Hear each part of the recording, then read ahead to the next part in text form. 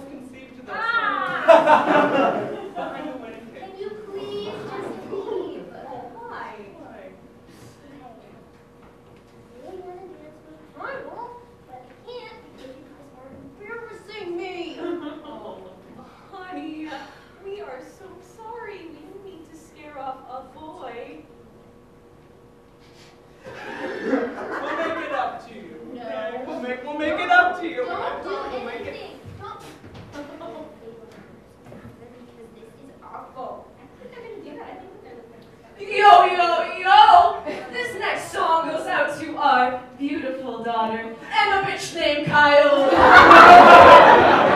Listen, Kyle, this song is very special to us. This was the song you were actually conceived to. 45 minutes after our first dance.